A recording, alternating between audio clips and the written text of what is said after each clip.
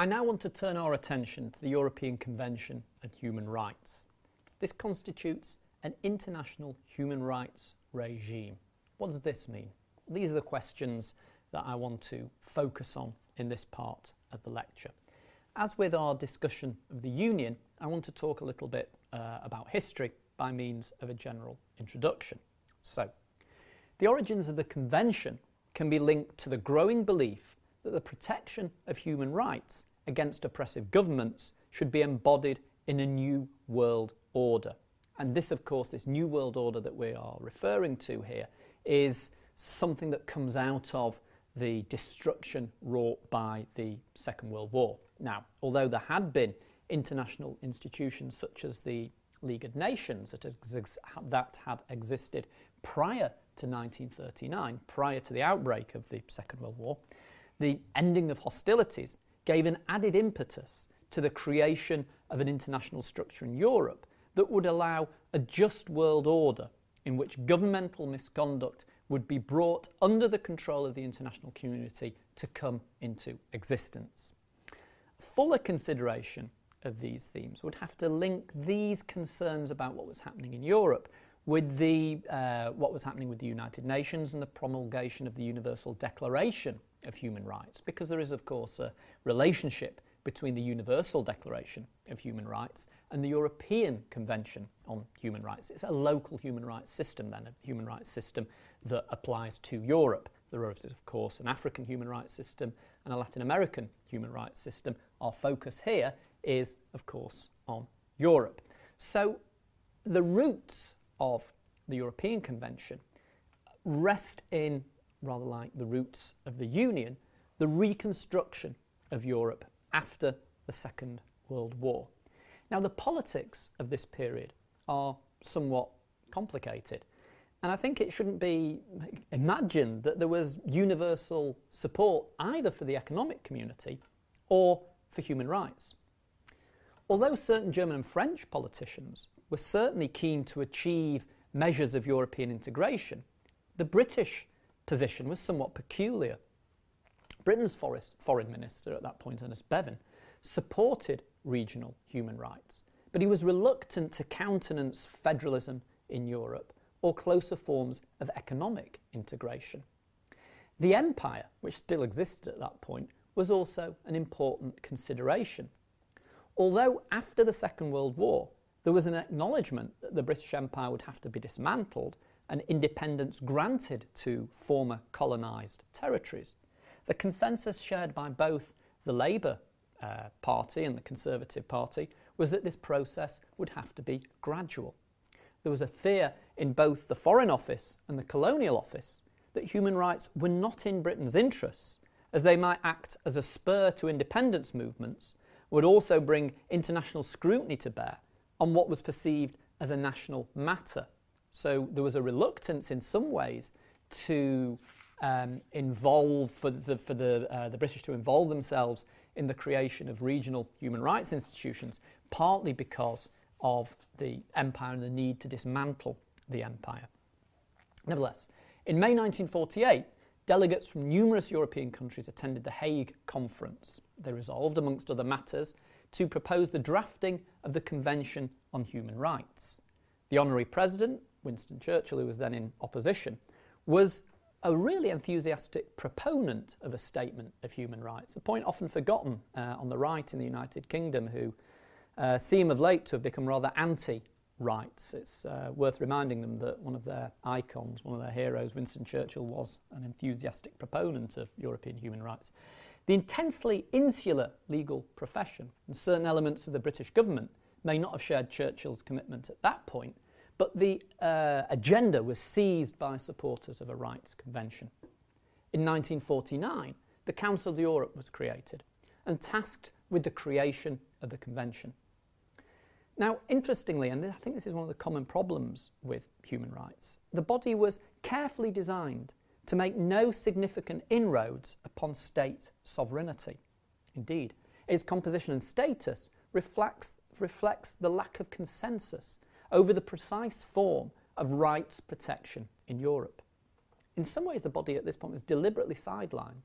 It had no legal, legislative, or executive status, however. Its most important asset was the mere fact of its existence. And as we can see, I think largely the history of human rights is the rise and rise of an idea. Although the uh, Council was initially reluctant about the project of drafting the Convention, it became a major champion of the whole idea of human rights, which began to be seen as a fundamental support for the stability of democracy in Europe. Now, I said a moment ago that, the, uh, there's a, a, fundamental problem with human rights, um, and that is that can be sketched out as follows. Human rights are, of course, international. Uh, if we use the terminology of the Declaration, they are universal.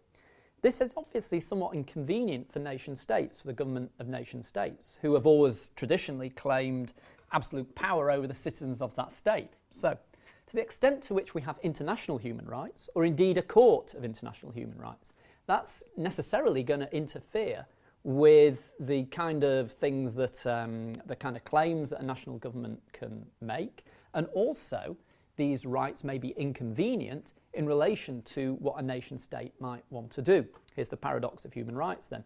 Human rights has to rely, international human rights have to rely on the nation state to put rights into effect, and yet nation states are often reluctant to countenance human rights because those human rights will necessarily be something of a limitation of the kind of powers they have as national governments. There's a tension between international human rights and the kind of values that are linked to human rights and the whole problem, whole issue of state sovereignty. And these themes, I think, run through all human rights law. They run through the, the law of the uh, European Convention as much as the Universal Declaration, or indeed any other body of human rights. The Convention was ultimately signed in Rome in 1950. Now, I don't want to say too much about the institutional history of the Convention, uh, its institutions, but I do want to point out that in 1950, the so called Old Convention created uh, a, Europe- European Commission of Human Rights and a court. The early history of the convention after it entered into force in 1953 really sees in the early years the caseload of the court being reasonably light. However, as we continue uh, towards the modern period, we see this caseload increase and increase and increase. By the end of the 1990s, then, it was clear that the court and the commission were finding it hard to cope with the ever increasing number of cases remitted to them. Reform of the convention institutions appeared to be long overdue. Protocol 11, which was ratified in 1998, sought to streamline the, the nature of the uh, convention institutions by um, abolishing the commission and enhancing the powers of the court and the means for enforcing the judgments of the court. The protocol also made it obligatory for states to recognise both the right of individual petition and the jurisdiction of the European Court of Human Rights.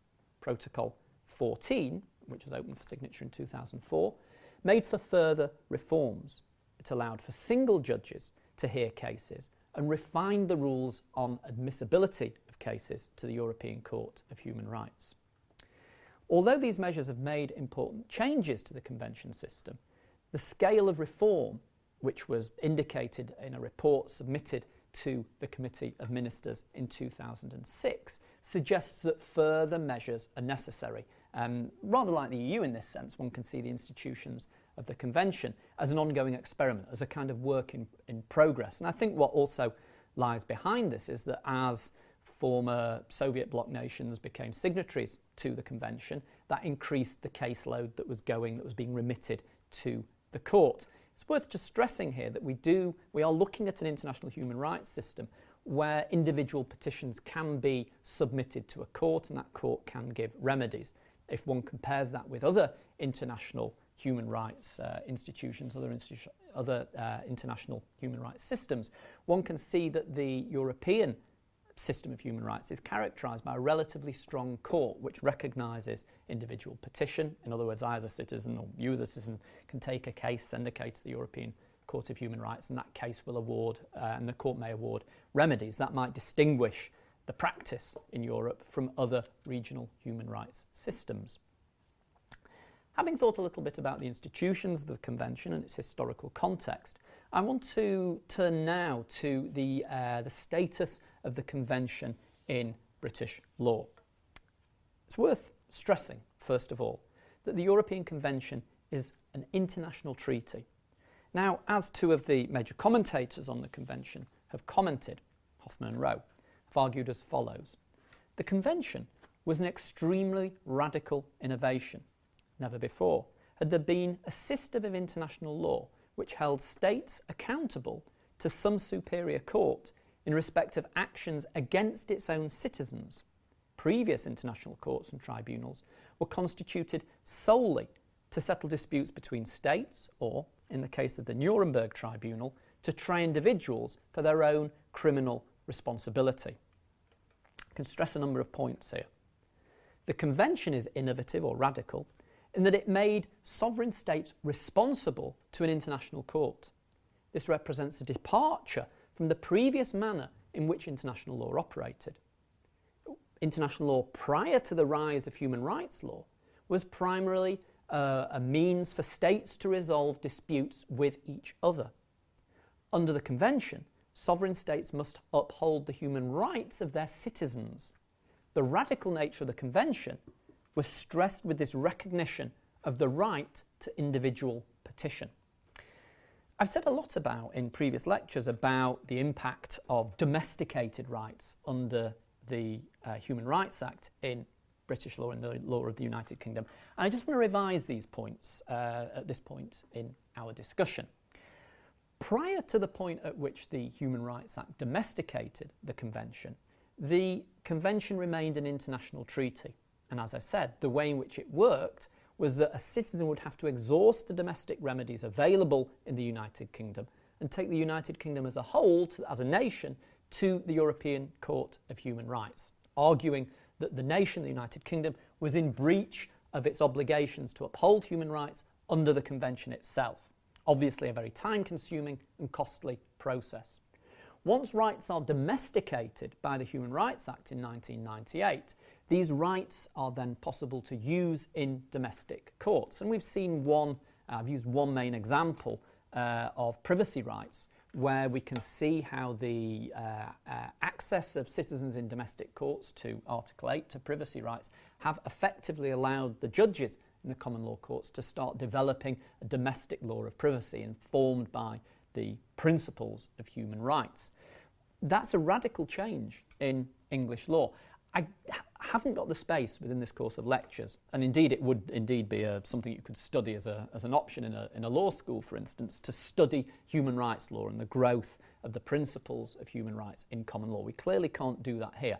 What I do want to do is just draw your attention to uh, some fundamental uh, issues in relation to the kind of rights that we find in the Convention.